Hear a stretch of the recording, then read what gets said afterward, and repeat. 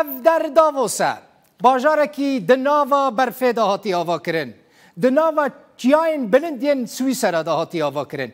Nüfusa vî bajarî nêzikî dazda hezar kes e yanî ne gelekî mezin e.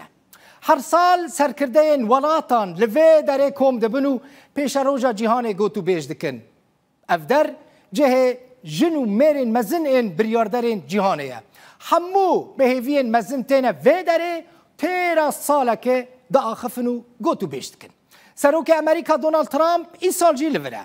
Her ji vê derê dibe ku tweetekê belav bike û dost dîsa gola siyaset û aboriya cîhanê biçelqîne. Trump rojekê pesnayekî dide roja din çavlê sor dike. Ew êdî wiha bûye ku xelk li Amerika serê sibê zû ji xew rabin û çaverê bin kawe dîsa Donald Trump çi bêje û tweeteke çawa binivîsîne. سەرۆکی ئەمریکا ڕاستە ڕاست داخفە. وی عالی و وی عالی ناس ناکەزیدە. یعنی مجاملەیە کەسێکی ناکە.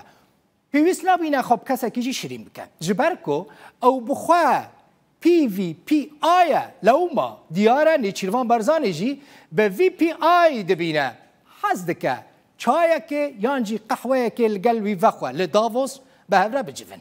ئەدی ئەو دیدار دیدەرە لوتکەیە دناوبەرە دو سروکان دایه سروک بهسترین دولت جهانه و سروک تاکستاتویا دستوری یا اعتراف پیکری به ناو کردستان دیوه هف ببینن نیچیروان برزانی هول دایه بالانس چی بکو هریما کردستان جی هم لگل امریکا هم جی لگل ایران ولات دنجی خودی پیوندین باش به اف جی نه کارکی راحت بگمان یعنی هر کس نکاره ویا کی بکن فيجي وهاكريا وهم واشنطن همجي طهران وي دعوات بكنو حزد كن لقل وي بجفن بريجي كيفا امريكيان جني چوان برزاني راهاتيه د دما بویارین 16 اکتبر 2017 دا دما لکردستان هنک دنگ هبون دا خواز راگهاندن حکومت دا رزگاری اجتماعی دکرن و دمه کوشکا سپی به سروکتی دونالد ترامپ دا خویانی یک بلاف کرو گوت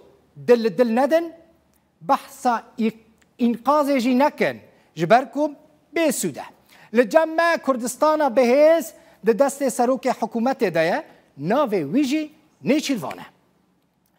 Ji sala 1991 ve Amerika Herêma Kurdistanê diparêze.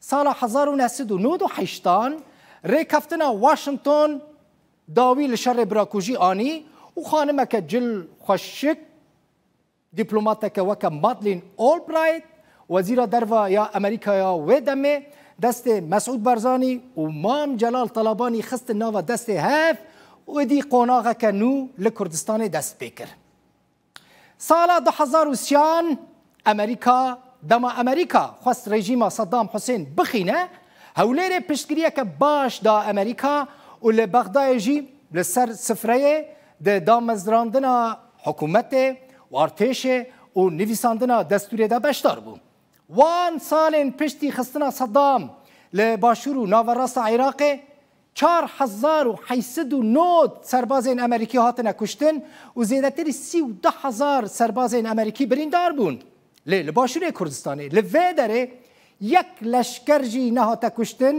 و تلیا یک سربازکی امریکی جه تلیا سر یک سربازی جی دلوپک خوین نهات بریندار نبو یعنی امریکیان هر دمه تکس کرن ku Kurdistan Iraqeke dune çawa yanî Iraqqa ku dixwastin ava bikin û leşkerên xwe ji bo wê Iraqê şandin dane kuştin û dane birîndar kirin lê dema di dema nakokiyan da li gel Bexdayê her demê hewlêrê gazin ji Washington dikir ku rola xweya temam nelîst rola xweya temam pêra nebû ji bo ku mafên xelkê Kurdistanê bi taybetî jî لە ناوچەیەن بەقەتاندی مافێنوان بێنە پاراستن و نەین خوارن. دە ساڵا 1940دا شەڕێ داعشێ دەست پێکرد. دیسا وەکە دەما خستنا سەدام حوسێن ئەمریکا بەرێ خدا هەولێرێ و پشتگیریا پێشمەرگەیان کرد. ژبوو و چوانان بخن سەرێ داعشیان و وان لە پێشیە جاوێن دنیای ڕسوا بکن. ئێدی ببن چیرۆکێن ڕسوابوونێ لەسەر زمانان ژبوو نفشێن پێشە ڕۆژێ. دوی شەڕیدا پێشمەرگەیان 1742 شهید و ده 1720 بریندار دان هر ویکی جی وها کر کو ترامپ به سرسامی بحثا پیشمرگیان بکه و پسنا وان و خلک کردستانی بده دروژن در باسبوی دا بالیوزخانه امریکا لبغدای راستی ایرشان هات و پارلمان عراق جی بریارا در خستنا هزین امریکی و هزین ولاتین دنج عراق دا لی کرد ملتکی امینن دست دوستین خواه برنادن کوردان اوسنیان بریار پارلمان رد کردن نیچروان بارزانی جی گوت ندما و یکیه کو امریکا جا عراقی درکفه نها جی لداووس د ناوا برفیده هر دو سروک بارزانی و ترامپ بحثا پیش روژه دکن لی به بهنه کفره نه به کله گرمی یعنی دور دبینن و خوش دبینن